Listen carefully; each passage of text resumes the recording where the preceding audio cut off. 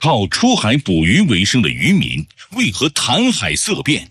他说他怕。本是正常海鲜交易，却有人从中作梗，背后隐藏着怎样的玄机？他带着手下马仔呢，控制了江洪的海鲜收购市场。百人盘踞海上，恃强凌弱，垄断交易。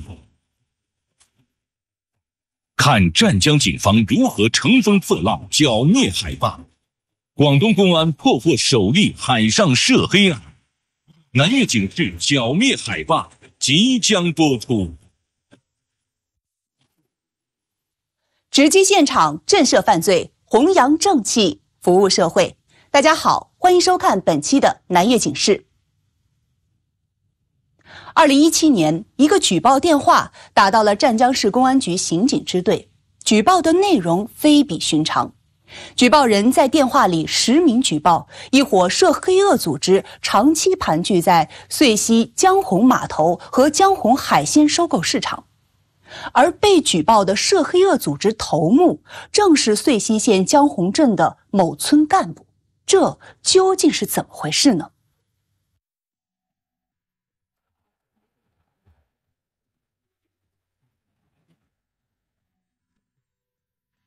他是经过一番精心打扮的，而可以说是还是做过有准备过来的。为什么这样说？因为他身着很干净，衣着很干净，而且打了香水，那眼的长得比较，我们白话就叫做比较靓仔，啊，那演的比较精干，而且呢，他的表情呢是很轻松，很漫不在乎，他觉得他没有什么事。眼前的这位显然是有备而来。言谈举止从容淡定，就像是赶赴一场聚会，而不是到公安局配合调查。他到底做了什么？这一切都要从二零一七年的一个电话开始说起。幺幺零指挥中心。二零一七年六月的一天，湛江市公安局刑警支队的值班电话突然响起，这是一个投诉电话，投诉的内容却是非同寻常。投诉。说遂溪江红有个叫梁怀的男子，他在长期霸海，欺压百姓。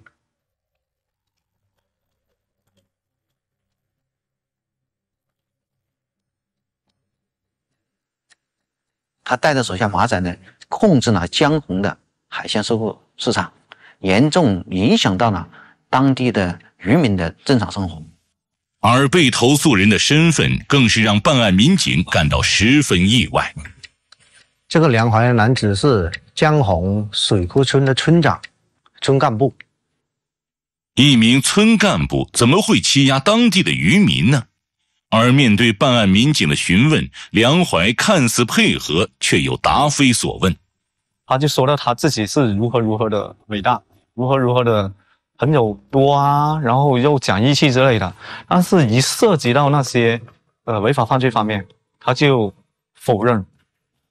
湛江市公安局刑警支队迅速组织警力前往案发地湛江市遂溪县江洪镇进行调查。江洪镇三面临海，洪波滚滚，故名江洪，是一个得天独厚的渔业镇。盛产优质的海鲜，其中以红鱼、马鲛鱼、花蟹、海螺最为出名。当地的居民也多以渔业为生。办案民警认真查阅了当地二十多年来的案件卷宗，发现，在这起投诉之前，已经有十几宗同样的内容投诉，都直指同一个人——梁怀。而“海霸”一词最早出现在一九九九年一月十六日的一起对梁怀一伙人的投诉中，距今二十多年了。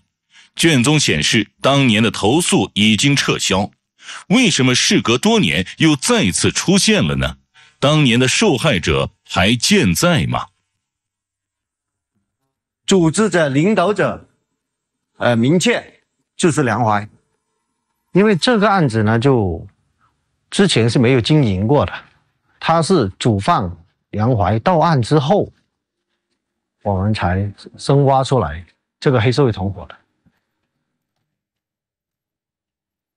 誒，六下，哦，誒，嗰個是針緊刺鋼曲嘅，有冇啊，每呢件數號，冇咯冇啊，咯，六百六塊啊，冇包冇包冇包。因为他一到案了，他的同伙成员呢，他已经听到这消息了，逃避，有的人去恐吓相关的人员，啊，所以导致啊我们的起证难，还有就追逃难。一开始呢就进展的比较缓慢，因为我们前期呢对这个人就不掌握不了解，虽然对案件的侦破难度早有心理准备，但是在取证过程中所遇到的困难还是出乎民警的预料。家亲戚打过，这个姓黄的，大概是三点钟，三点钟到他家，就给他做材料。开始做的时候呢，他都比较配合说，都说呃怎么怎么样啊，梁淮怎么样霸海啊，村里欺负那村民啊，他都都是他都自己人，他选那村干部。和受害人的交谈从下午三点一直持续到晚上七点。然而，让受害人在询问笔录上签字的时候，意外发生了。他不肯签名啊！啊，我这第一次碰见这个情况。我说，你既然都说了，你为什么不签名呢？他说他怕。受害人借故离开了家，这让办案民警十分无奈。啊，他说他要，呃，去厕所，因为他家里没有厕所嘛。然后他很快回，我们一直等到凌晨两点钟，我们没办法，我们只能撤出来，撤出来这份材料呢，最终没签到名。办案民警周永红在取证的过程中，也同样遇到了巨大的困难。啊，因为他年纪比较大了，当时已经六七十岁了，是我们调查还是六七十，快七十岁了。然后去到通过一些关系找到他家里人的时候，他家里人把门门关了，他这种关系来调查，还把门关了。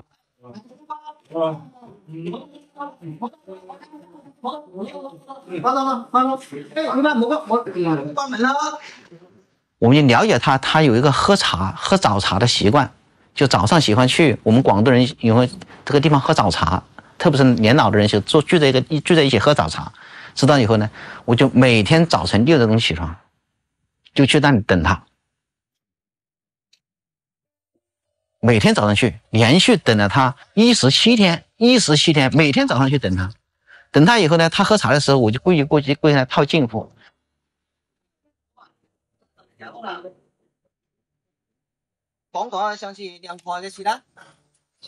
在周永红的不断劝说下，于博才慢慢放下戒备，打开了他心里埋藏多年的心结，指控梁怀的海霸恶行。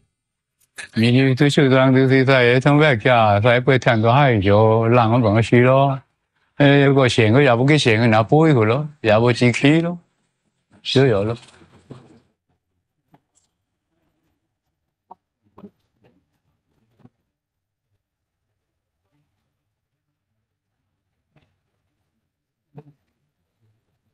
侬同前次冇叫红咗，又攀人墙，我哋都难对吧？有人呃，我除开啲人，而就咩家仲你叫我同同攀人墙，一次又杯，切啊，我我前都切一次乜咩？你阿蒙大塞個陪到嗨，都話晒仲都一副牌話陪到老闆，一直夾佢，話冇幾錢，你你話不交吧？話不交你一錢就怕咯，就除啊，怕到到呃那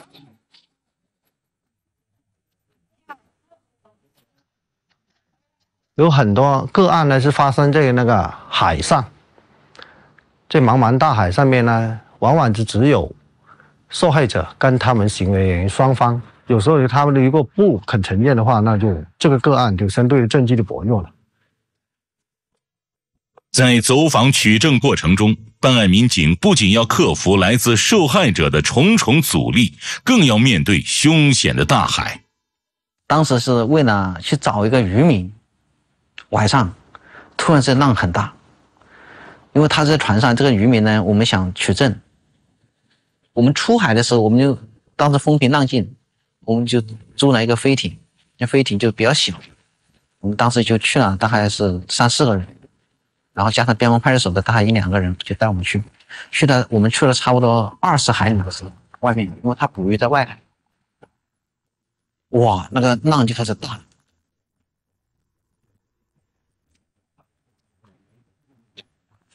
就看到船在前面，但靠近不了，差点船被打翻了。我们就跟着我的同志回来以后，我那时候我都后怕，真的后怕，因为当时一心想的就是想怎么去取胜啊，但同时要兼顾着队员的安全。但是没想到浪会突然那么大，那个船呢差点被浪给打翻了。在海上浪打翻了以后，你会游泳都没用的，就差一点你就打翻了。那小飞艇打翻了，打翻了以后，我们一船人肯定都没有。但当时浪也差不多四五米高。整个浪打起来的时候，那个船都已经到那个浪尖上去了。它突然之间，那里浪风就开始大，浪开始大起来了。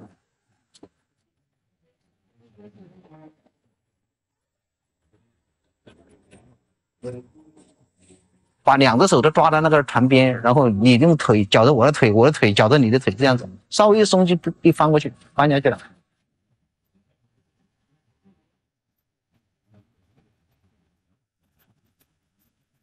在办案民警努力下，越来越多的受害人终于打破了沉默，开始讲述那段心酸的过往。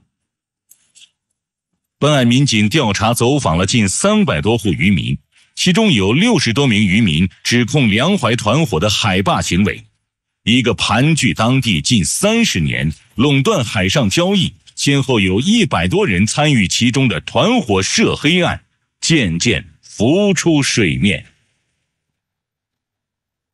他从九十年代开始呢，就是纠集那些他身边的信得过的那些他的亲人亲戚，另外的那个社会形上那个社会上的人员，他也不是一般的人员，他是专挑那些呃有案底的、有劣迹的，越凶残越凶暴的那种呢，他就更喜欢。一九九六年，梁怀与外地黑恶势力合作，并网罗家族成员和一帮社会闲散人员，以未经工商注册登记的飞跃公司为名号，盯上了江洪镇的海产品螃蟹。江洪主要的海产品是螃蟹，量是最大的，然后利润也是最高的。他首先看中这种，然后呢，他就组织呢，通过马仔把。江洪所有收购螃蟹的收购商，还有在江洪采海的，就是捕捞的，这外地船的，特别是连江集团的那些船家，全部集中在金海岸开会赛马。所谓的赛马，就把他的所有的马仔全部集中那里，叫他所有人过来开会。开会的目的干什么呢？说以后你们的江洪的螃蟹，你们这些收购商必须要卖给我。但是这些人肯定有人反对，对不对？那他反对的时候呢，他们就用什么呢？一个威胁、恐吓，只要是他控制的船，他都插上一个黑旗，别人一看，哦，这是梁怀这个团伙控制的船，都没人敢靠近。就是渔民，他比如是正常交易，他卖给收购商大概是在七八块钱左右，但是如果卖给梁怀，啊，就是大概是四五块这个样子，就是少大概是两到三块钱一斤吧。梁怀以开会的名义将海鲜收购商召集在一起，并让自己的马仔将会场团团围住，震慑威胁所有的收购商，用武力让他们屈服。迫于梁怀团伙的淫威，收购商只好将螃蟹低价卖给梁怀。通过这样的垄断，梁怀及其团伙获取了巨额利润。他名下仅其中一个账户，从二零零五年到二零一四年的非法收益就高达两千多万元。梁怀团伙使用暴力控制住江逢，得到螃蟹市场后，开始将同样的手段复制运用到其他的海产品上。说梁怀他是看到什么值钱，看到什么赚钱，他就控制哪一方。到了零六年开始。他又发现江洪的海螺资源不错，就以莫须有这块海都是我承包的方式，让外面的所有螺船进入到江洪海域摸螺，都必须经过他。你摸螺必须要卖给我，啊，用这种方式又控制了当时的那个江红的海螺市场。梁怀团伙牢牢地把控着江洪的海鲜，以低于市场价一半的价格强行收购渔民捕捞的海鲜，再高价卖出，这让靠出海捕鱼为生的渔民苦不堪言，收购商更是损失惨重。因为橡皮楼高峰就可以卖到也一百块钱一斤，他曾经抽水就抽到二十几块钱。通过非法手段垄断海上交易，梁怀猎取了巨大的利益后，开始在江洪一带横行霸道。梁怀喜好女色，常常通过一些手段对当地有姿色的妇女进行猥亵和调戏，这样的行为让江洪镇的女性十分惶恐。对投诉和上访的居民。梁怀并不直接对付当事人，而是通过胁迫其家人，让当事人撤销投诉和上访。梁怀的名字成了当地居民心中的魔鬼，群众敢怒却不敢言，以至于多年无人敢于揭发。他这个人一个爱好，好色好酒，所以说，在江洪一带都很怕他，怕他喝酒，喝完酒以后。调戏妇女、猥亵妇女，当时在江洪，老百姓都传话，就说，只要梁怀晚上去那喝酒，一些女孩子九点之后之后都不敢出门了，啊，都害怕到这种程度。通过近半年时间的深入摸排走访，收集相关证据，二零一八年一月十一日。湛江市公安机关对梁怀犯罪团伙组织领导参加黑社会性质组织行为立案侦查。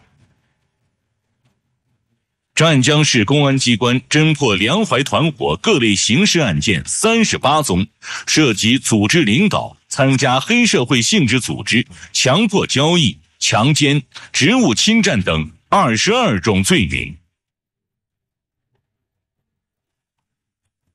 二零一九年四月十四日，湛江市中级人民法院对该案作出终审裁定，判处梁怀有期徒刑二十五年，并处罚金人民币二百零五万元，没收个人全部财产，剥夺政治权利四年。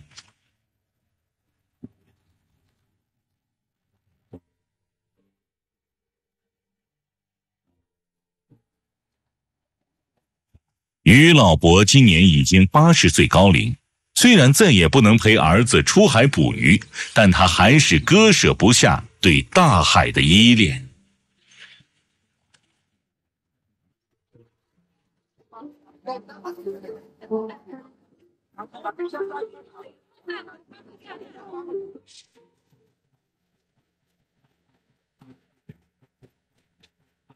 如今的江洪镇又恢复了曾经的宁静。随着满载的渔船归来，渔民们的脸上洋溢出幸福的笑容。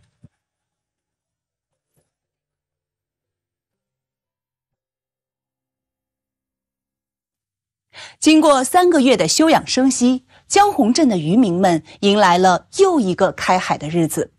随着海坝的覆灭。他们终于得以重新开启人与人之间、人与自然之间的和谐篇章。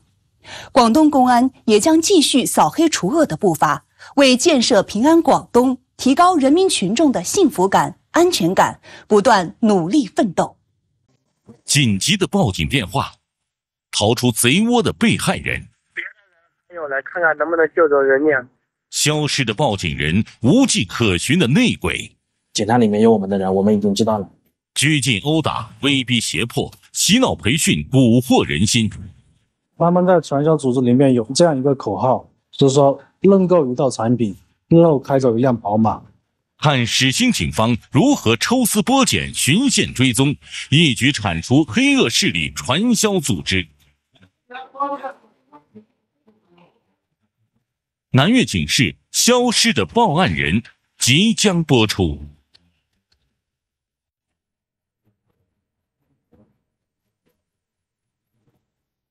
直击现场，震慑犯罪，弘扬正气，服务社会。观众朋友，大家好，欢迎收看本期的南粤警示。二零一八年十月中旬，韶关市始兴县公安局扫黑除恶办的民警在侦查一宗涉黑恶案件的时候，遇到了一个棘手的问题：一个给他们提供线索的报案人突然消失了。这究竟是怎么回事呢？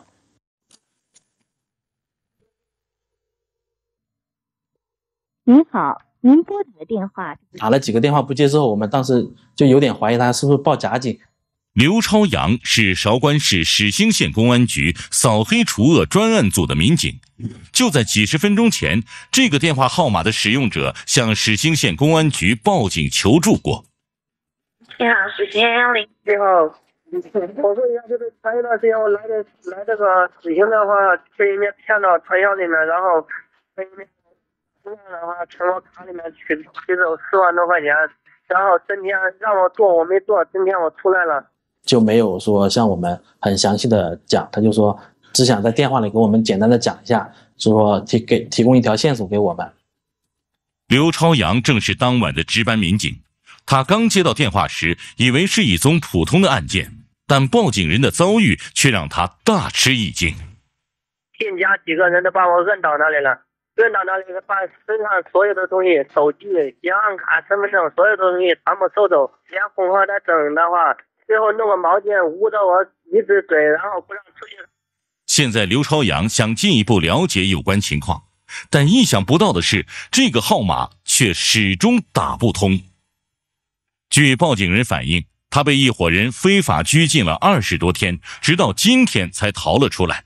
此外，让刘朝阳更为震惊的还有这句话：“不是我自己，别的人还有了，就是说看看能不能救走人家。”报警人在电话里向民警诉说了自己的经历。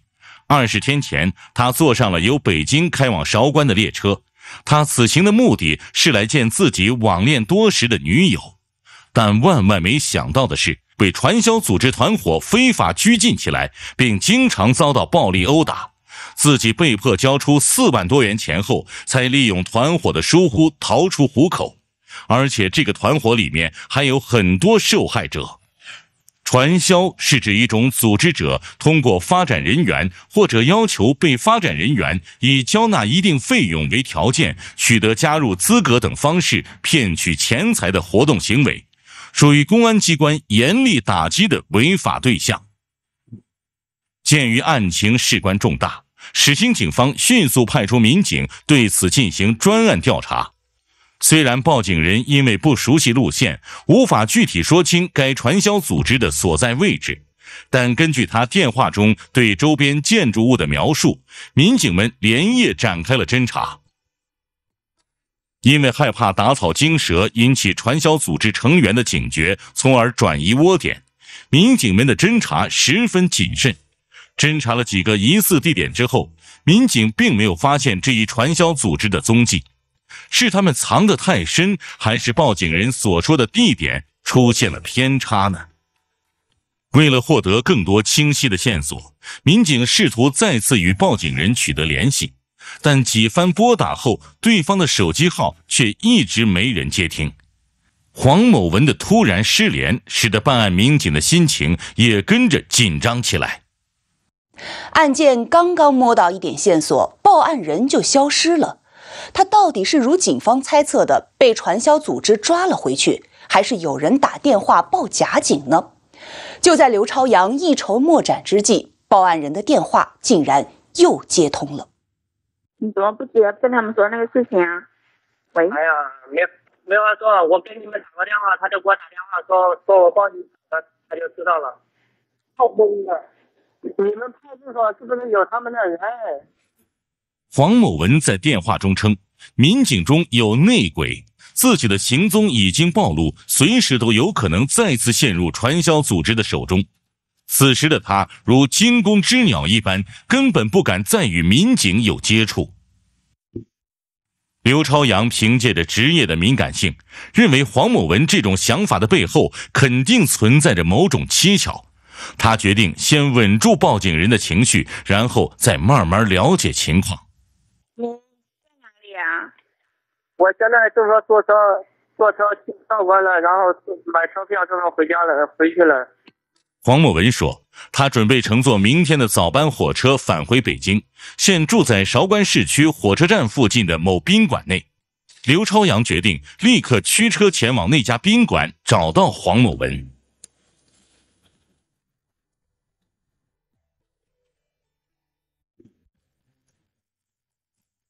刘朝阳与其他办案民警来到了黄某文的宾馆住处。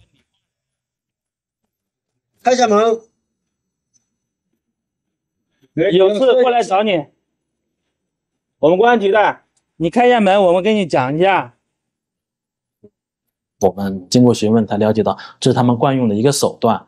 受害人离开这个地点之后，在两个两个小时左右之后，他们就会打电话给受害人，然后就是骗受害人来那个说你是不是报警了啊？我警察里面有我们的人，我们已经知道了，你报警是没用的，来那个恐吓受害人，让其实目的就是不让受害人报警。经过进一步的询问，刘朝阳才明白，原来此前黄某文所说的警方内鬼纯属乌龙事件。最终，在民警的解释安抚下，直至凌晨三点，黄某文才打消了害怕传销组织前来报复的思想顾虑，并同意随民警返回始兴，协助进一步的调查。他的思维呢是比较有一点反常。跟常人有一点有一点不一样，因为毕竟呢，他在这个窝点里面待了蛮长的一段时间，可以说在里面受到的是非人的待遇。传销往往和洗脑、发财梦这样的词联系在一起，是一种建立在精神控制基础上的致富骗局。他用欺骗的方式不断发展下线人员。而被骗拉入的新人，往往会遭到非法拘禁和暴力殴打，是通过那个花言巧语或者那个骗术，将你从啊家里骗到传销窝点，要达到的目的是啊使你的啊那个钱，或者通过你将家人的钱骗到这个传销窝点。黄某文一到始兴就被引带到了室内进行拘禁，他对自己所困的非法传销窝点位置没有多少印象，所以我们带他去逛了一圈我们始兴县城，他也找不到当时他究竟是在哪一间屋子里面被人拘禁的。黄某文说，当初他是乘坐大巴从韶关市区来到始兴汽车站的。而前来迎接他的，正是此前在网上认识的那位女友，这是他们的第一次约会见面。有两个，他和另外一个女的，但我不认识那个女的，他之前也没有说起过。后来他们坐上了一辆小车，去到另外的巷子里面，但具体的车牌号码他已经记不清楚了，只记得那辆车的颜色是灰色的。结合黄某文提供的时间点以及当时三个人的衣着、体态等特征，民警调取出了汽车站附近所有的监控视频，试图寻找并还原出他们当天的行动轨迹。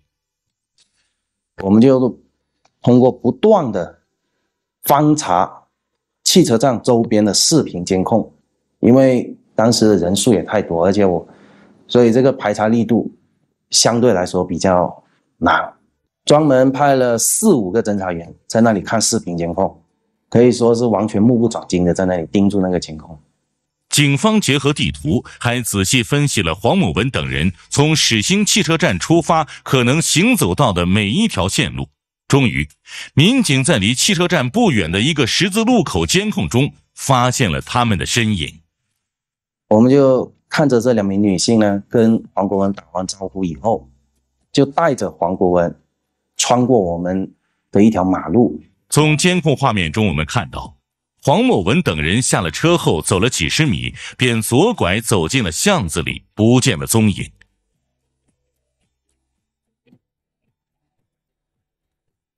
专案组随即派出巡查民警来到小巷进行了实地勘查，发现这里密集的并排着数十栋出租楼房。我们确定有这样的一个情况以后。就马上带着黄国文开车到了附近，让他回忆那个当时的情况。后面他就告诉我们，就是这栋出租屋从背后上去的一栋出租的定位。终于确认了黄某文陷入非法传销窝点的具体位置。可考虑到传销案件的侦破往往需要一个比较严谨的侦查取证过程，始兴警方决定暂时按兵不动，先搞清楚这个传销组织在始兴的人员组织架构以及分布情况，具体核实涉及参与传销人员的身份和查清他的非法资金流向。下面业务呢所有的那个呃那些钱都会堆积到金字塔的顶端。然后他们那些邀约过来的，呃，新人也好，他们口头上答应会给他们提成，但是都是一个空头支票。随着调查的深入，警方还掌握到该非法传销组织内部有着一套完整的职位晋升和利润分成结构，级别越高，获利越多。从上到下设置了业务总管、业务经理、业务主任、业务代表、业务员五个级别。而犯罪所得的钱财由主任往上逐层缴交，他们自己称呼为他们的传销窝点，就成为一个家庭。那个每个家庭都会有一个家长，就是他们所谓的主任。那个每个主任他都会委托一个比较资深的业务员作为管家，就管理那个里面的成员的生活起居，包括保管那个家庭的钥匙。以此为切入口，警方又掌握到了同在该县城内的另外一个传销窝点位置。当天下午的摸排，我们是怀疑了有四个点，相对准准确的位置的这两个点，并且这两个点通过我们的摸排，也能够基本吻合我们王某文那里所啊获悉的那个信息。二零一八年十月十二日晚，始兴警方决定。展开收网行动，抓捕民警分两组，对这两个窝点的犯罪嫌疑人实施抓捕。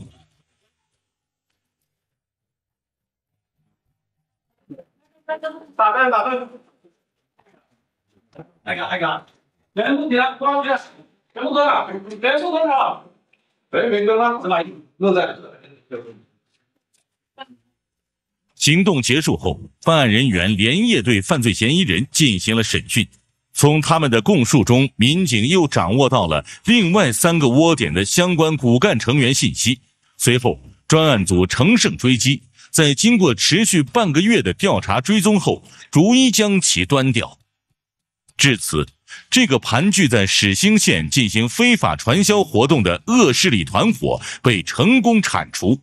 警方共端掉五个传销窝点，抓获犯罪嫌疑人三十九名，解救受害人六名，缴获手机、银行卡及洗脑培训资料等作案工具一批。南粤警示稍后继续。